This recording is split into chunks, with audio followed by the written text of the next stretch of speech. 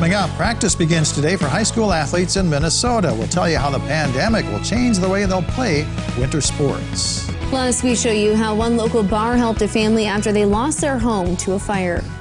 Good morning. This is KELOLAND on the go with all you need to know in news and weather as you start your day. Rapid City Police have arrested a suspect in connection with a deadly shooting on Christmas Eve. 21 year old Elias Richard is charged with second degree murder in the death of Vernal Marshall.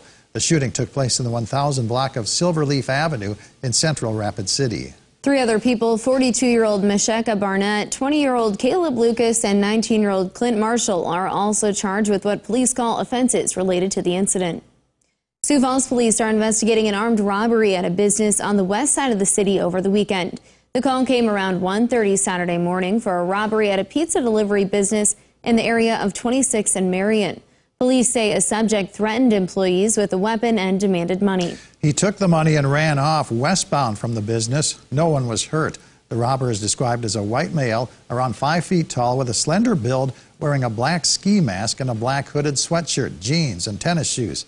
If you have information, call Crime Stoppers at 367 7007.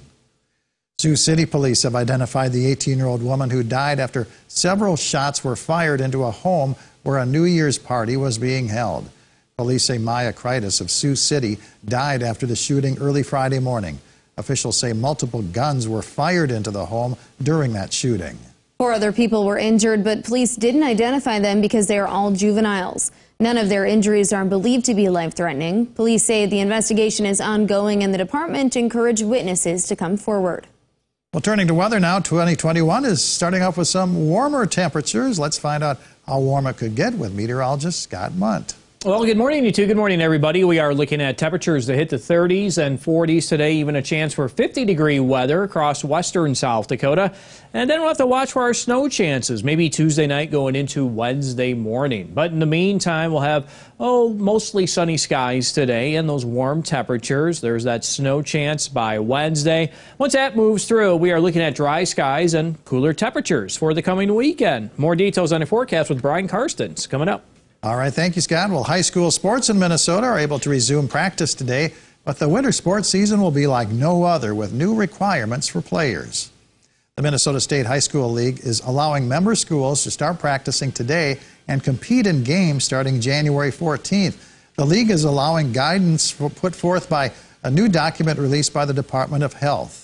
It requires mask usage by all participants during practices and competitions, with the exception for sports where masking may cause additional safety concerns. However, basketball and hockey players must wear masks while competing.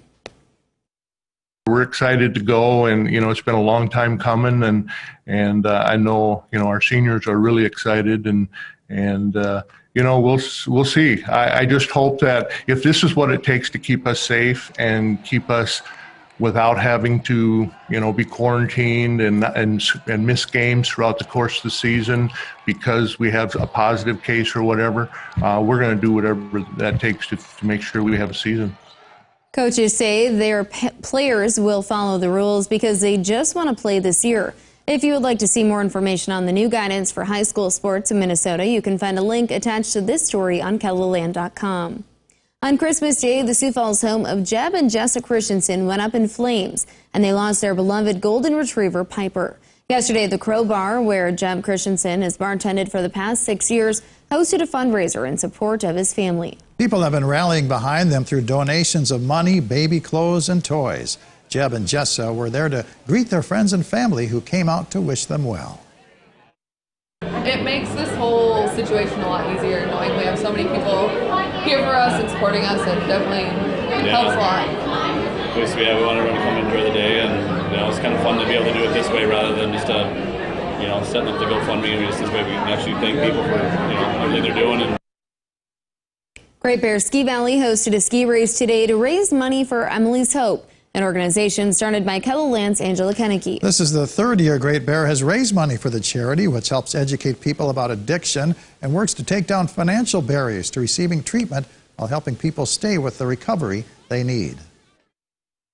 Today they've raised $420 for Emily's Hope, which is just um, it's incredible to see this kind of support in our community for our cause, and we are so grateful to see this race grow every year. The donation amount has grown every year, and we're just able to help more people because of that. So we like to um, give back to the community that gives so much to us. You know, the races are a fun, you know, low stress thing for both kids and adults to come out, you know, see, test their skills, some friendly competition, and then raise money for a good cause um, while we're doing it.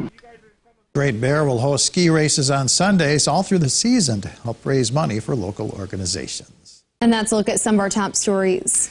Well, let's get one last look at your weather now with meteorologist Brian Karstens. Good morning, Brian. All right. Good morning, guys. Good morning, everybody. Well, weather today features more sunshine. That will feel pretty nice. And uh, a wind out of the west, and that's just enough to kind of stir things up and keep our temperatures at or above normal. Now, tomorrow, we do see a change in the weather. A southeasterly wind comes back to the forecast. That'll feature some cloud cover increasing a bit. And also with that comes the chance of a little bit of rain or snow in the air come Tuesday night into early Wednesday. And in fact, eventually that system, as it pushes east, probably will change mostly to a nuisance snow, but accumulating snow is part of the forecast. We'll keep an eye on that as uh, we get into Wednesday. I would expect some of those roads to get coated with snow and certainly an impact there.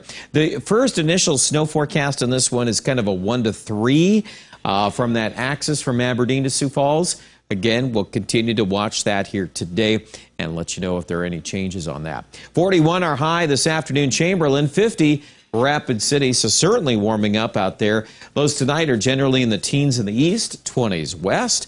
And tomorrow, with that southeast wind, we're still going to warm to 36 in Sioux Falls and mid and upper 40s for Pierre.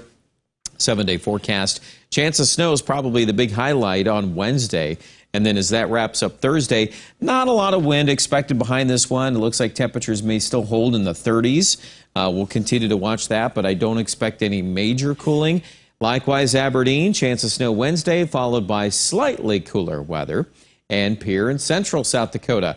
Your chance of precipitation is a little lower Wednesday, and then following that, probably mid and upper 30s. But for January levels, still not too bad. And Rapid City cools a little bit into the 40s as well. Check out the latest details with our Storm Center update right now at KELOLAND.com.